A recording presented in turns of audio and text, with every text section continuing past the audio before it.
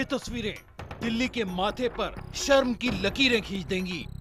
ये तस्वीरें बताएँगी कि भले ही हिंदुस्तानियों ने मंगल तक तिरंगा फहरा दिया हो, लेकिन विश्वास और आस्था की कसौटी पर हम अब भी फिसड्डी साबित हो जाते हैं।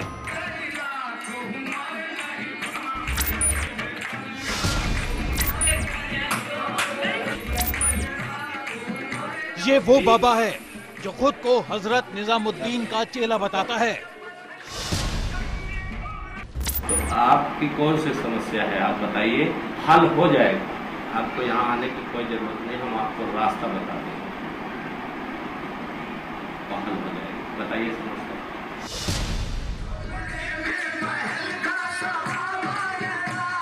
ये वो बाबा है जो अपने भक्तों को हर रोग से मुक्ति दिलाने का वादा करता है। हमारी चौखट के अंदर आप आ गए। ठीक? और जब आपको यहाँ आने का होगा तो आपको सपने में कोई ना कोई आके बता दे कि अब जाए वहाँ। तो आप आ जाए। हद हो रहा है सत्य सत्य। और अक्सर अंधभक्ति के शिकार ये मरीज़ इस दुनिया से ही मुक्त हो जाते हैं। ठीक।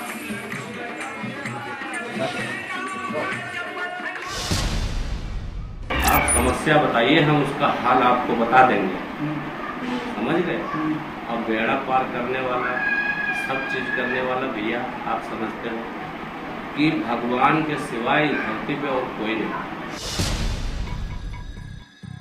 ये वो बाबा है जो देता तो ईश्वर से जुड़ने का मंत्र है, लेकिन खुद जिसके दामन पर भोग, विलास आसक्ति और बलात्कार के संगीन दाग हैं। दिल्ली के कोने में बैठा ये बाबा खेलता है फूंक का खेल।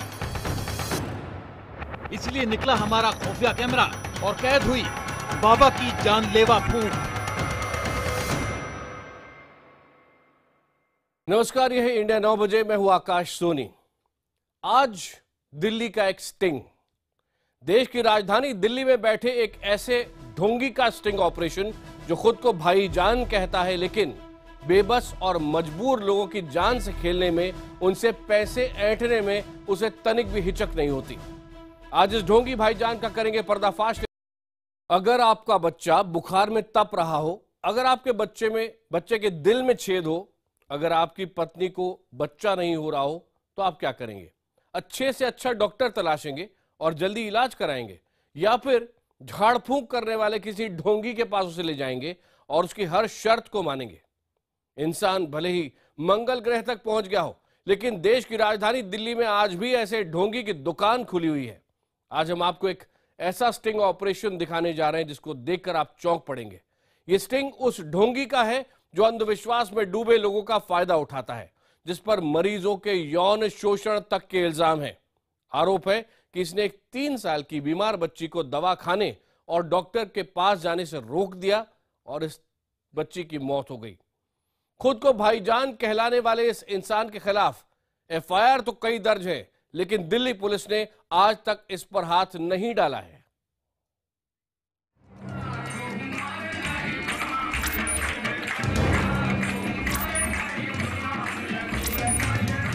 इलाका, दक्षिण दिल्ली का एकता विहार।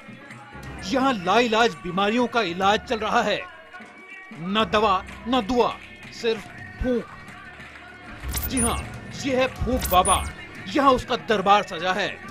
बाबा के दर पर आए हुए हैं रोगी और बाबा बन बैठा है, वैद्य। उसका इलाज है ये फूक। शर्त ये कि फूक उसी को मिलेगी जो कोई भी और दवा ना ले। यानी मर्ज भले ही कितना ही संगीन क्यों ना हो। इंसान की हालत कितनी ही विकट क्यों ना हो, वो सिर्फ़ और सिर्फ़ फूंक के भरोसे ही जिए। दवा को हाथ तक न लगाए, डॉक्टर के यहाँ भूल कर भी मत जाए। आखिर ये फूंक बाबा चाहता क्या है? आरोप है कि ये मरीज़ को पहले मीठी ज़ुबान से भरमाता है, फिर धीरे धीरे अपने वश में ले लेता है।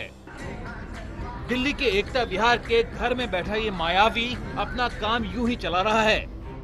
इसकी भनक लगते ही आईबीएन सेवन ने इसका स्टिंग ऑपरेशन करने की ठानी। हमारा रिपोर्टर भी रोगी बना और जा पहुँचा बाबा के पास, उसकी मजलिस में हिस्सा लेने। दरवाज़ा एक लड़की ने खोला। बाबा जल्द ही प्रकट हो गया। तो आप समस्या बताइए, हम उसका हाल आपको बता देंगे। समझ गए? और बेड़ा पार करने वाला, सब चीज़ करने वाला भैया, आप समझते हो कि भगवान के सिवाय धरती पे और कोई नहीं। समझ सकते हो हमारी बात तो समझ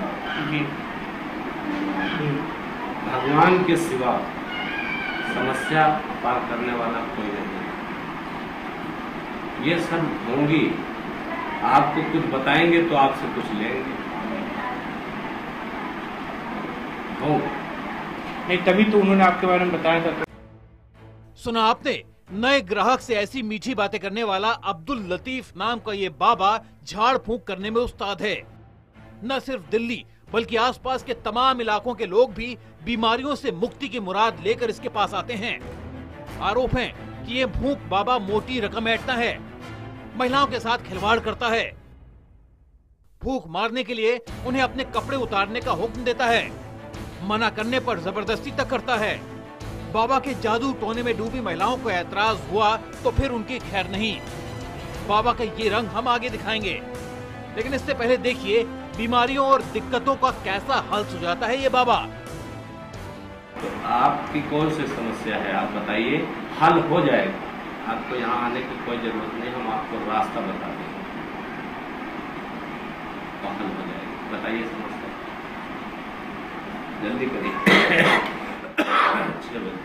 बाबा बहुत विचित्र समस्या है। विचित्र हो जैसी भी हो मुँह से बोल तो दो। मुँह से तो बोल दो। अगर ईश्वर के हाथ में होगा तुम्हारी समस्या का हल तो आपको बता दिया जाएगा नहीं होगा तो जहाँ मिलता है वहाँ से ले लो। हम इंसान हैं, हम भगवान नहीं हैं। सुनिए हम इंसान हैं भगवान नहीं हैं अब से आप हमको देखो और आप अपने आप को देखो इनको देखो हम भगवान नहीं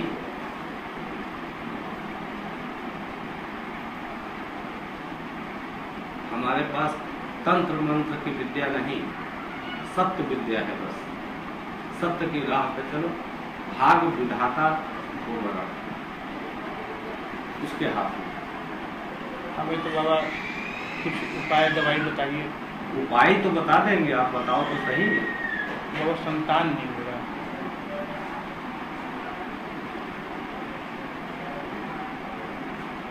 और कमी बाबा अरे नहीं आप न इस बात हमको तुम देख रहे हो, हैं? हमको देख रहे हो? सत्य बात बता हमारी बीवी मर गई।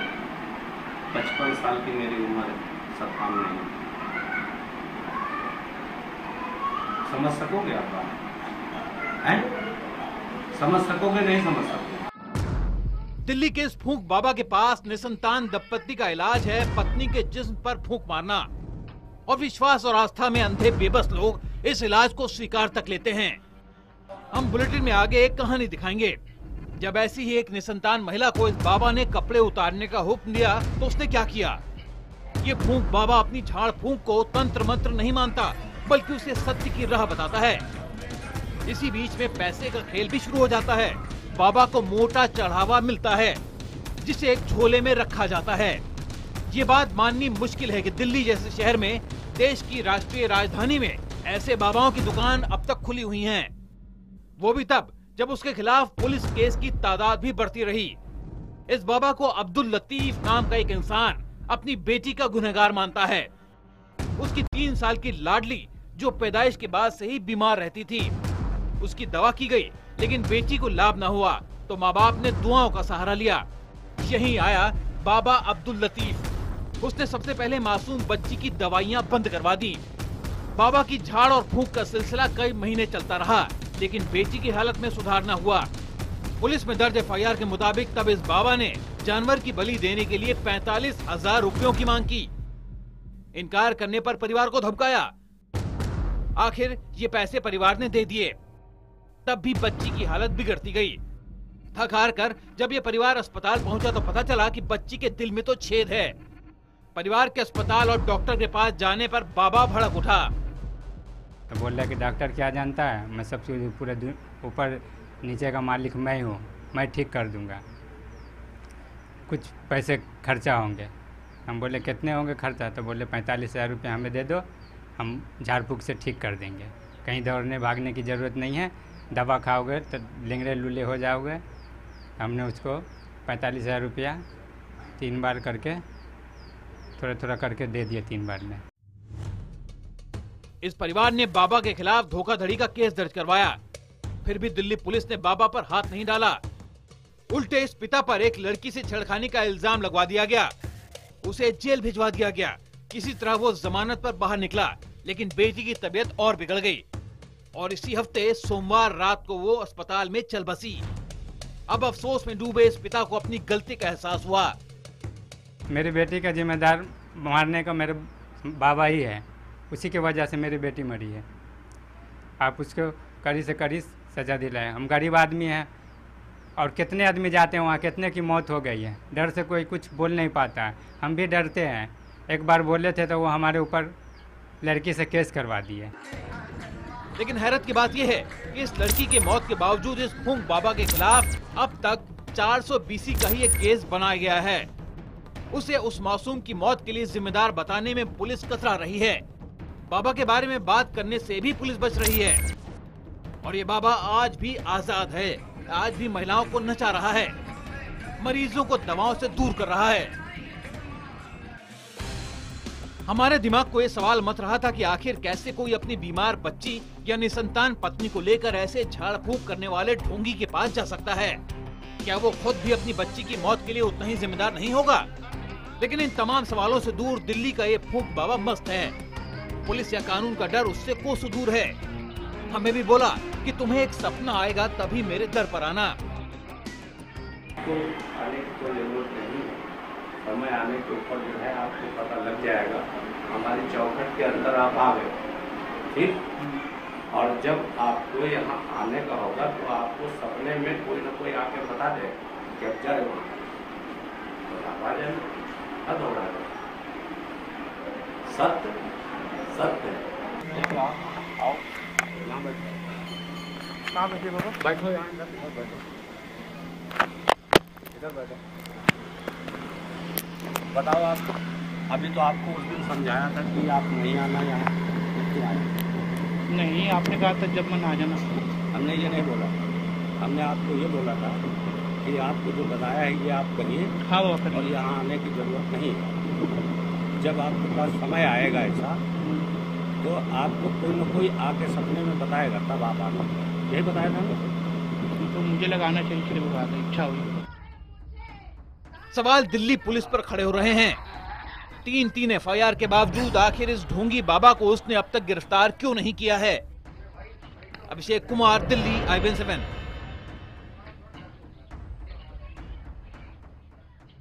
अब्दुल लतीफ उर्फ़ भाईजान, ये ढोंगी बाबा, इनके गुनाहों की लिस्ट काफ़ी लंबी है। जब आईबीएन सेवन की तफ्तीश आगे बढ़ी तो अब्दुल लतीफ के खिलाफ कई और संगीन आरोप सामने आए। एक आरोप यह है कि इस ढोंगी ने झाड़ फूक के नाम पर एक शख्स की जान ले ली। और जब एक महिला ने इसके पास इलाज के लिए जाने की कोशिश की तो लतीफ ने उसके साथ बलात्कार करने की कोशिश की। यह उस महिला का कहना है लेकिन किसी तरह उसके चंगुल से वो बचकर निकल भागी। इन दोनों मामलों में पीड़ित परिवार ने आरोपी लतीफ के खिलाफ पुलिस में बाकायदा शिकायत की है, लेकिन पुलिस ने आरोपी को गिरफ़्तार करने में कोई दिलचस्पी अभी तक नहीं दिखाई है।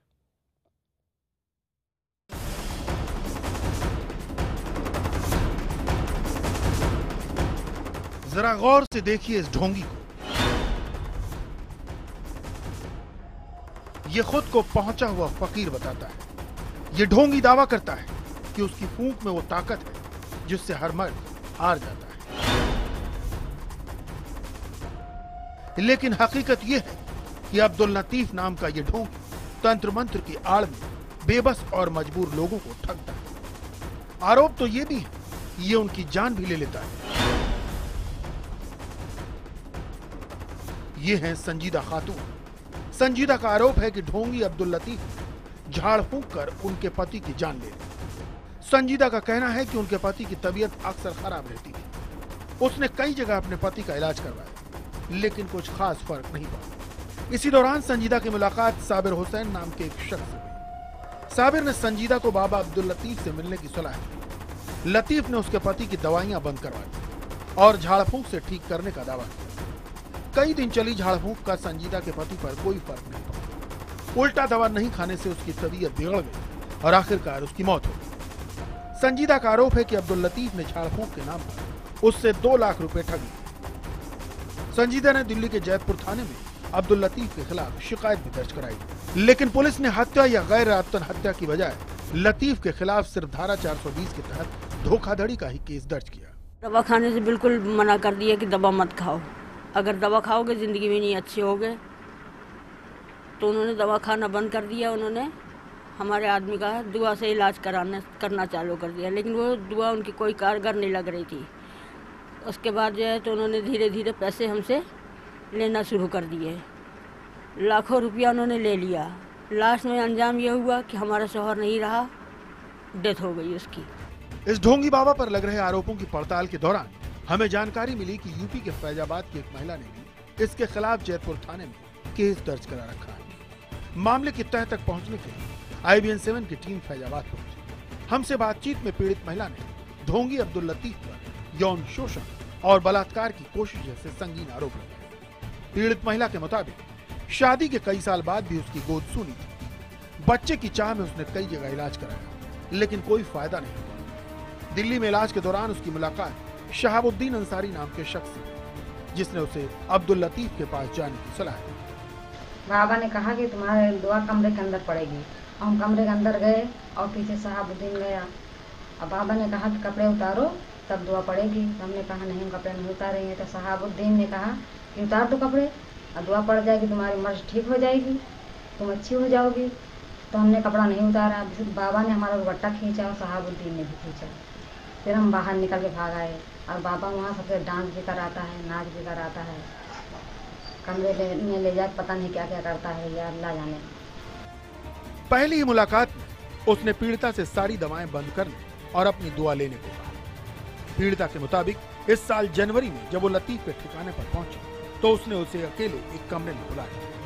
लतीफ ने पीड़िता से कपड़े उतारने को उसने कहा कि निर्वस्त्र करके वो उसके शरीर पर दुआ फेंके। जब महिला ने इनकार किया तो लतीफ जबरन उसके कपड़े उतारने लगे। महिला का कहना है कि काफ़ी मुश्किल से वो अपनी जान बचाकर वहाँ से भागा पीड़िता का आरोप है कि इलाज के नाम पर लतीफ ने उससे एक लाख साठ हज़ार रूपए ठग लिए इस मामले में उसके पति ने लतीफ के खिलाफ जैतपुर थाने में केस भी दर्ज करा रखा है। साथ ही कुछ दिन बाद पीड़िता ने अपने साथ हुई ज्यादती की भी शिकायत जैतपुर थाने में की। मेरी बीवी ने सर ये करने से मना कर दिया और वो निकल के चली आई। लेकिन उसके साथ इसने ये असली हरकत की कि जब कपड़े उतारने के लिए मेरी बीवी ने मना किया तो बाबा ने और साहबुद्दीन ने उसके रुबट्टे को खींचा और उसको निर्वस्त करने की कोशिश की, सर। ये बात मुझे पता चली और इसके खिलाफ हमने थाना जयपुर में आवाज़ उठाई, लेकिन हमारी बातों को सुना नहीं किया अनसुनी कर दी गई। हैरानी की बात है कि पुलिस ने महिला की शिकायत पर आरोपी लतीफ के खिलाफ कोई केस नहीं दर्ज किया। जब आईबीएन सेवन ने पुलिस से सवाल किया तो जवाब मिला। बाबा लतीफ के खिलाफ धोखाधड़ी का मामला दर्ज कर उसे डीआईयू यूनिट को जाँच के लिए भेज दिया गया है। लेकिन महिला की शिकायत के बारे में उसे कोई जानकारी नहीं। जब आईबीएन सेवन ने पीड़ित महिला की शिकायत की कॉपी इलाके के डीसीपी को दिखाई तो वो चौंक गए और तत्काल एसीपी को इस मामले की तफ्तीश का आदेश दिया। कानून के जानकारों का कहना है कि अगर पुलिस सख्ती दिखाए तो इस ढोंगी बाबा को गिरफ़्तार किया जा सकता है। उनका कहना है कि लतीफ के खिलाफ गैर आत्मन हत्या का केस दर्ज हो सकता है। ये जो चल रहा है, जो भी ये उन्होंने उनको इंड्यूस किया होगा, कुछ बातें कही होंगी, शायद कुछ समझाया होगा, जो कि उनके बहकावे में आके उन्होंने अपनी लड़की को प्रॉपर जगह पे नहीं दिखाया। सो नाव क्योंकि अब ये हो गया है सो वो कंसर्न थाने पे जाके एफआईआर कर सकते हैं। पुलिस एफआईआर इसमें रजिस्टर बिल्कुल करेगी अंडर अप्रोप्रिएट प्रोविजंस इलाज के नाम पर बेबस और मजबूर लोगों की जान से खेलने वाला लतीफ आज भी बेखौफ है और अपना धंधा कर रहा है।